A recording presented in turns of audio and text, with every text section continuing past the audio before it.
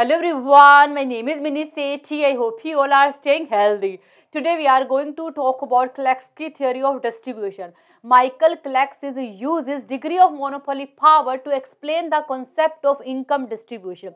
That's why this theory is very unique. According to this theory, degree of monopoly power will decide ability to set price. If degree of monopoly power is high, that means the firm has very few competitor and it can set a higher price on the other hand if degree of monopoly power is very low that means firm is facing so much competition in market and it cannot set higher price. As we know this theory is based on degree of monopoly power. And formula of calculating degree of monopoly power is p minus m over p. Here mu represent degree of monopoly power p represent price m represent marginal cost. In this theory we assume marginal cost is equal to average cost that's why we replace A with M. A means average cost. P will come in this side and when we minus average cost from price, it will become equal to income of firm from per unit production. Suppose firm is producing total X number of goods. So, we will multiply both side with X. And X into P minus A is equal to gross income of one firm. In order to calculate gross income of all firm in economy, we will do summation both side. As we know, summation represent total income of all firm in economy. So, this part represent total income of all firm in economy. So, this is our final equation. Here P is price, X is quantities. Price into quantities is equal to total revenue. When we add sigma, it will become equal to T. T means aggregate turnover. Now we divide both side of this equation with aggregate turnover. After doing this our equation will become like this.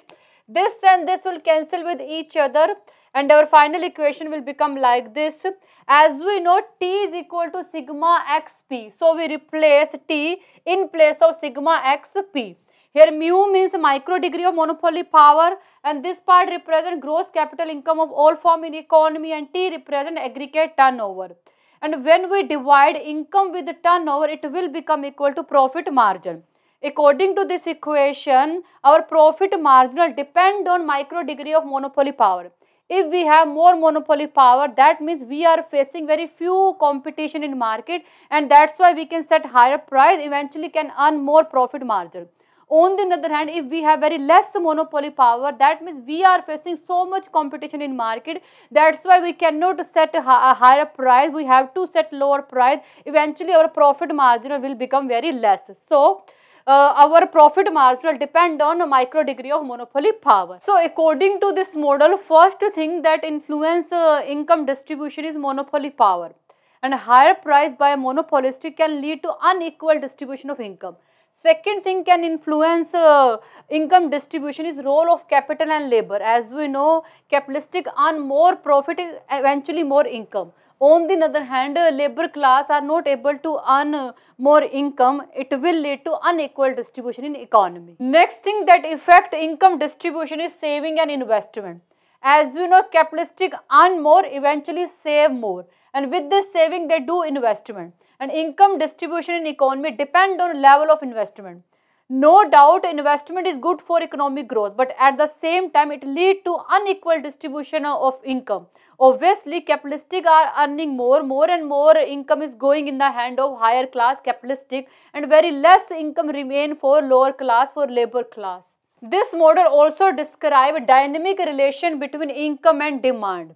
That means how much uh, demand change when income change. This is mainly about income elasticity of demand and with the help of income elasticity of demand we can know income distribution in economy.